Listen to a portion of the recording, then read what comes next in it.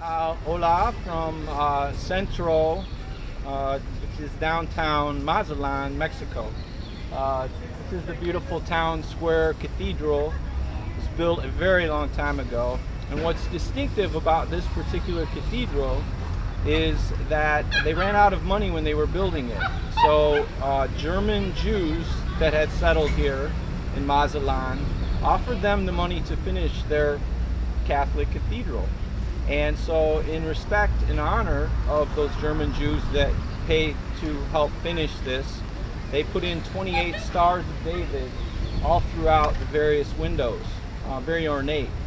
And um, the 28 stars of David represent the 28 days in the Jewish calendar.